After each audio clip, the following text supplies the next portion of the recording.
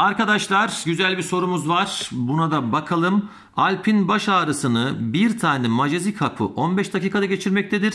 Bir tane vermidon hapı 45 dakikada geçirmektedir. Yuttuğu haplar Alp'in baş ağrısının geçme süresini ters orantılı olarak etkilemektedir.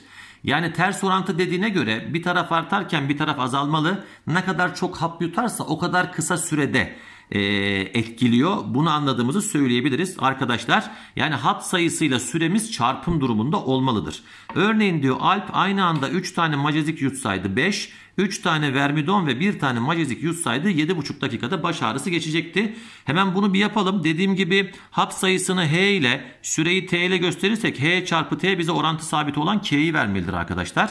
Mesela burada bir tane hap 15 dakikada geçiriyor. O zaman H, hap sayısını 1 olarak alıyoruz. Süreyi 15. 1 çarpı 15'ten orantı sabitimizin 15 geldiğini görüyoruz majezik için. Vermidon için yaptığımızda bu sefer 1 çarpı 45'imiz K olarak geliyor. Yani şu e, birinci şuna biz K1 diyelim arkadaşlar. Buna da K2 diyelim. K1'i majezik için K2'yi de vermidon için kullandığımızı ne yapabiliriz? Söyleyebiliriz. Örneğin demiş 3 tane majezik 100 saydı 5 dakikada. Neden? Majezikteki orantı sabitimiz 15. O zaman 3 tane hap olunca hap sayısı 3 geliyor. 3 çarpı T eşittir 15'ten T'mizin kaç geldiğini görüyoruz?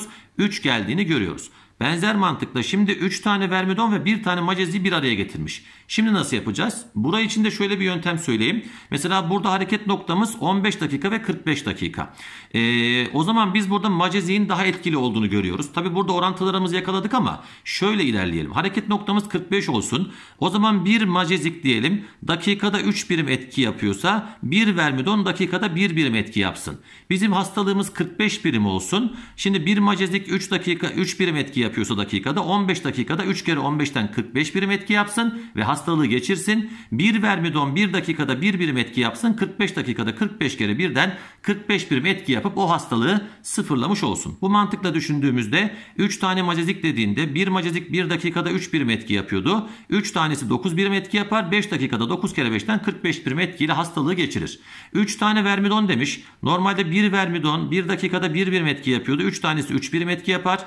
Bir tane macezik 1 dakikada 3 birim etki yapıyordu. 3 artı 3'ten burada toplam etkimiz 1 dakikada 6 birim olarak gelmiş olur.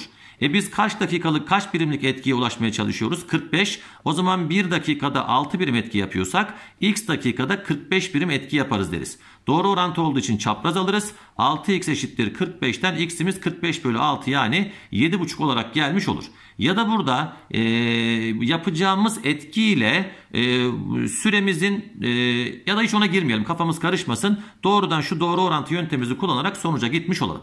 O zaman buraya bakıyorum şimdi. Alp diyor bir tane vermidon yutmuş ve ağrıya dayanamayıp bir süre bekledikten sonra bir tane de macezik yutmuştur. Önce vermidon yutuyor daha sonra macezik. Alp'in vermidon yutuşundan macezik yutuşuna kadar geçen süre macezik yutuşundan baş ağrısı geçene kadar geçen süreye eşittir. O zaman önce vermidon yutmuştu sonra macezik yuttu. Vermidonu yuttu x dakika geçti. X dakika geçince macezik de yuttu. Bundan sonra x dakika yine geçmiş. O zaman vermidonla geçen süre x artı x'ten 2x Majezik'te geçen süre sadece x olarak gelmiştir. Normalde vermidon 1 dakikada arkadaşlar 1 birimlik etki yapıyordu. 2x dakikada 2x çarpı 1'den 2x birimlik etki yapar. Majezik 1 dakikada 3 birim etki yapıyordu. x dakikada da 3x birimlik etki yapar. İşte bu etkilerin toplamı bize 45'i vermeli ki hastalığımız baş ağrımız geçmiş olsun. Buradan 5x eşittir 45'ten x'imiz 45 bölü 5 yani 9 olarak gelir.